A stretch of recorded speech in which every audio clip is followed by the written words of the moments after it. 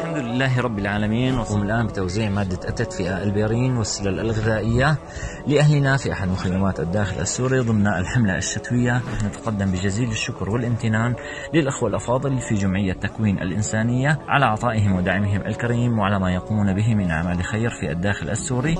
شكرا يا عم أن قدمتونا السلة. ما كان في شيء ناكله ما كان عندنا شيء نحرقه. والله يجزيكم ألف خير يا رب.